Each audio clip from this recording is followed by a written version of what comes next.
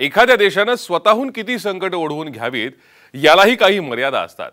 पण पाकिस्तानचं तसं नाही. फाळणीपासून हा देश कुणाच्या तरी वळचणीला जाऊन बसतो आणि बदल्यात आपलं सार्वभौमत्व गहाण टाकतो. वसाहतवादी देशांना असे देश हवेच असतात. बलुचिस्तानमधील ग्वादर बंदराचंही असंच झालंय. ग्वादर बंदर पाकिस्तान चीन्यांना हस्तांतरित केलं. पण आता तिथे चीन आणि पाकिस्तान विरोधातच आंदोलन सुरू झालंय. काय आहे हे प्रकरण? पाहूयात. पाकिस्तानच्या ग्वादरमध्ये अस्वस्थता. मच्छीमारांच्या पोटावर चिन्यांचा पाय. चिनी कंपन्यांविरोधात स्थानिकांचं आंदोलन.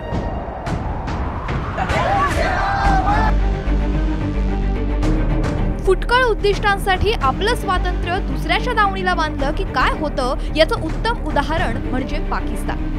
बलुचिस्तान प्रांतामधील ग्वादर शहरात गेल्या आठवडाभरापासून तीव्र आंदोलन सुरू आहे.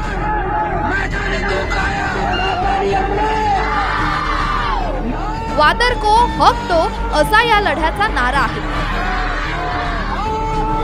आंदोलनामागचं मुख्य कारण आहे मच्छीमारांवर आलेली उपासमारीची वेळ.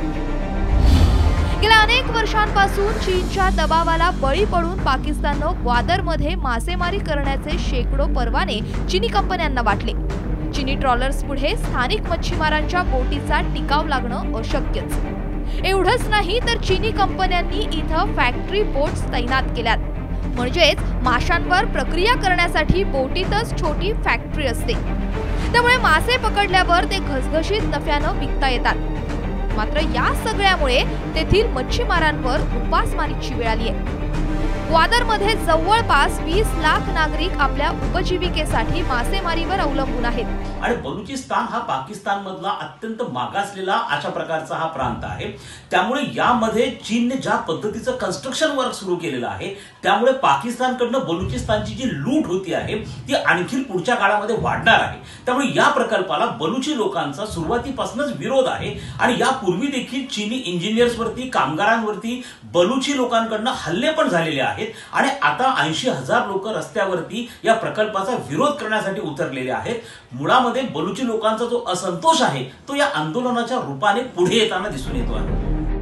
मासेमारीची समस्या तर एक मुद्दा आहे. दुसरा मुद्दा आहे चिनी कंपन्यांच्या दादागिरीचा. ग्वादरमध्ये बंदराचं बांधकाम करणाऱ्या कंपनीनं ठिकठिकाणी नाकाबंदी केली आहे. साधं भाजी आणायला गेलं तरी दहा वेळा विचारणा होते. म्हणजे आपल्याच भूमीत आपल्याला चोरासारखी वागणूक. यात भर म्हणजे बांधकामासाठी चोवीस तास वीज आणि पाणी उपलब्ध असतं. पण स्थानिकांना मात्र लोड शेडिंग आणि पाणी कपातीचा सामना करावा लागतो. यामुळे स्थानिक नागरिक प्रचंड संतापले आहेत.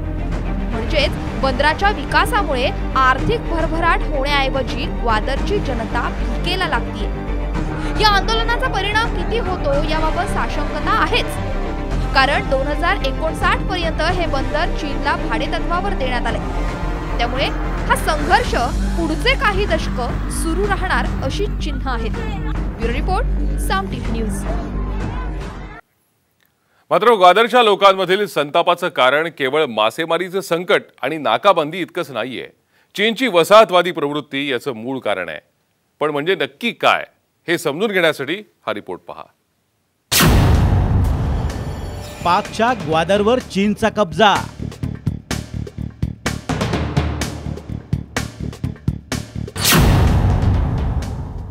पाकची केवळ नावापुरती सत्ता.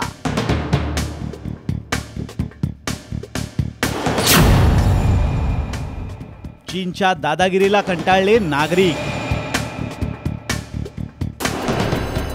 एकोणीसाव्या आणि विसाव्या शतकातला ब्रिटन आणि विसाव्या शतकातील अमेरिका. यांच्यातील साम्य म्हणजे वसाहतवाद. ही प्रवृत्ती गेल्या दहा ते पंधरा वर्षांपासून चीनच्या वर्तणुकीत दिसून येते. याचं भारताच्या जवळचं उदाहरण म्हणजे पाकमधलं ग्वादर शहर. बंदर बांधण्याच्या नावाखाली ग्वादरची अलिखित मालकी जणू चीनकडे गेली आहे. चीनसाठी हा प्रकल्प अतिशय महत्त्वाचा आहे. कारण चायना पाकिस्तान इकॉनॉमिक कॉरिडॉर अर्थात सी पी सी या प्रकल्पाचा एक अविभाज्य भाग म्हणजे ग्वादर बंदर. पर्यायानं सीपीईसी हा चीनच्या महत्वाकांक्षी अशा बेल्ट अँड रोड इनिशिएटिव्ह अर्थात बी आर ओचाही भाग आहे. एखाद्या चीनी कंपनीला जेव्हा परदेशात मोठं कंत्राट मिळतं तेव्हा मजूर चीनमधून आणले जातात. स्थानिक कामगार अजिबात वापरले जात नाहीत. याचं कारण वरकरणी जरी आर्थिक असलं तरी मुख्य कारण हे त्या देशात आपल्या नागरिकांची वसाहत निर्माण करणं हे असतं. ग्वादरमध्येही हेच झालंय. ग्वादरमध्ये आज असे काही परिसर आहेत जिथे स्थानिकांना जाण्यास मज्जाव आहे. तसंच स्थानिक पोलीस आणि लष्कराला हाताशी धरून स्थानिकांचा सतत छळ केला जातो. सततची तपासणी नवनवे नियम रोजगारांवर टाच या मार्गांनी स्थानिकांचं खच्चीकरण केलं जात आहे जेणेकरून त्यांनी शहर सोडून जावं आणि भविष्यात संपूर्ण शहरच चीनला गिळता यावं. या सगळ्यात भर म्हणजे चीनसमोर पाकिस्तान लाचार आहे. त्यामुळे चीनची ही दादागिरी पाकिस्ताननं थांबवणं जणू अशक्यच. चीन पाकिस्तान इकॉनॉमिक कॉरिडॉर जो आहे तो चीनचा शिनशियांग प्रांत आणि बलुचिस्तान मधलं ग्वादर बंदर यांना जोडणारा एक मोठा प्रकल्प आहे. आणि या प्रकल्पासाठी चीनने साधारणतः पन्नास अब्ज डॉलर्स हे पाकिस्तानमध्ये गुंतवलेले आहेत. विशेष करून हा प्रकल्प पाकिस्तानच्या बलुचिस्तान प्रांतामधनं जातो. मुद्दा अधिक क्लिष्ट होतो. बलुचिस्तानच्या समस्येमुळे. कारण ग्वादर हे बलुचिस्तानमधलं महत्त्वाचं शहर. स्वातंत्र्योत्तर काळापासून हा प्रांत स्वायत्ततेसाठी लढतोय. त्यातच ग्वादर शहर चीनला आंदण देणं म्हणजे बलुची जनतेच्या जखमांवर मीठ चोळण्यासारखं. आता या प्रक्षोभाची परिणिती अधिक मोठ्या जनआंदोलनात होते की नाही ते मात्र पाहावं लागेल. Bureau रिपोर्टसह Amey Chumbhale Saam T V news. चीन आणि पाकिस्तानचं नातं नेमकं कसं आहे? दोघांना एकमेकांपासून नेमका काय लाभ होतो? ग्वादर आणि पर्यायानं बलुचिस्तानचा मुद्दा समजून घेण्यासाठी चीन आणि पाकिस्तानचं नातं समजून घेणं आवश्यक आहे. चीन आणि पाकमध्ये मालक नोकराचं नातं.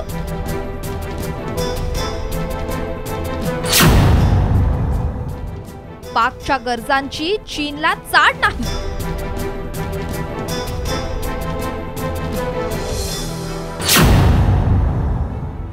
केवळ सामरिक उद्दिष्टांसाठी पाकचा वापर. पाकिस्तान हा देश जन्मापासूनच परावलंबी. पाकिस्तानमध्ये स्थैर्य हवं असेल तर आम्हाला अमेरिकेनं मदत करावी असं धादांत लोचट विधान मोहम्मद अली जिन्ना यांनी केलं होतं. तेव्हापासून आजपर्यंत पाकिस्तान हा देश कुणाच्या तरी तुकड्यांवरच तरत राहिलाय. आधी अमेरिका आणि आता चीन. पण पाकच्या या आजी आणि माजी मालकांमध्ये मूलभूत फरक आहे. अमेरिका कधी कधी का होईना पाकिस्तानला खरी मदत करायचा. पण चीनचं तसं नाही. भारतानं बालाकोटवर हवाई हल्ले केल्यावर पाकिस्ताननं आशेनं चीनकडे पाहिलं. पण चीन ढिम्म हल्ला नाही. तुम्ही तुमचं बघा असा चीनचा पवित्रा होता. आता वळूयात आर्थिक बाबींकडे. चीन हा देश कुठल्याच देशाला आर्थिक मदत करत नाही. तो कर्ज देतो. तेही चढ्या भावानं. या यादीतील एक देश म्हणजे पाकिस्तान. दोन हजार ते दोन हजार सतरा या काळात चीननं पाकला चौतीस पूर्णांक चार अब्ज डॉलर्सचं कर्ज जाहीर केलं. यातील चाळीस टक्के कर्ज ही पाकिस्तानच्या सरकारी कंपन्या आणि बँकांना दिली जातात. त्यामुळे ती सरकारच्या ताळेबंदात दिसत नाही चीननं अशी कर्ज अनेक आफ्रिकन देशांनाही दिली आहेत. कर्ज फेडणं जमलं नाही की मग चीन नैसर्गिक संपत्तीचे स्रोत काही दशकांसाठी मिळवतो. म्हणजे असाही फायदा आणि तसाही नफा चार दशकांपासून स्वतःच निर्माण केलेला दहशतवाद गुंतवणुका अभाव आणि प्रचंड गरिबी यामुळे पाकिस्तान खंक झालाय. यामुळे तो अधिकाधिक चीनच्या दावणीला बांधला जातोय. पण पाकच्या राज्यकर्त्यांना मात्र यात फार काही वावगं वाटत नाही. कारण आयत्याची सवय झाल्यावर हात पसरण्याचीही लाज वाटेनाशी होते. ब्युरो रिपोर्टसह अमेय चुंबळे साम टीव्ही न्यूज.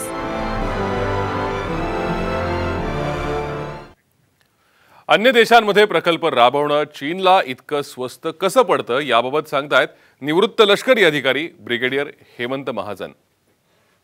लक्षात असावं की चायना पाकिस्तान इकॉनॉमिक कॉरिडॉर हा ग्वाडार बंदरातून येतो. आणि तिथून तो साडेचार हजार किलोमीटरचा प्रवास करून पाकिस्तानच्या आतून हा चायनामध्ये शिनझियांग प्रांतामध्ये प्रवेश करतो.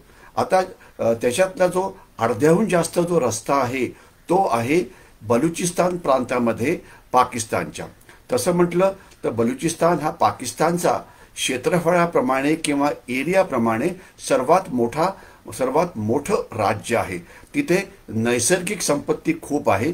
आणि हीच नैसर्गिक संपत्ती लुटण्याकरता तिथे चीनी लोक येऊन पोचलेले आहेत.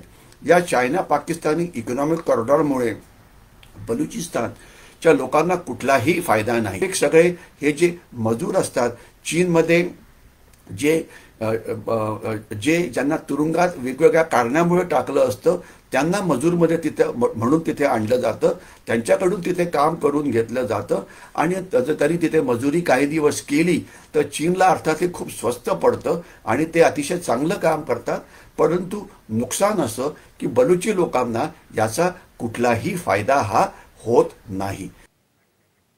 तर ग्वादरच्या जनतेत इतका संताप का आहे यावर अधिक प्रकाश टाकतायत निवृत्त लष्करी अधिकारी लेफ्टनंट कर्नल सतीश ढगे.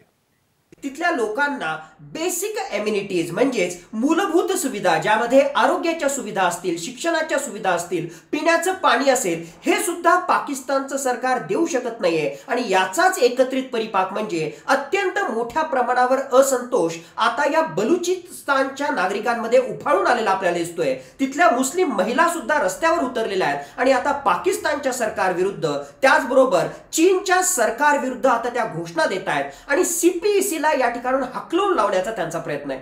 एकूणच चा चायना पाकिस्तान इकॉनॉमिक कॉरिडॉर हा सीपीईसी न राहता तो आता चायना पाकिस्तान एक्सप्लॉयटेशन कॉरिडॉर एक प्रकारे तिथल्या स्थानिक जनतेवर अत्याचार करणारा कॉरिडॉर बनला का काय अशा प्रकारची परिस्थिती निर्माण होताना आपल्याला दिसते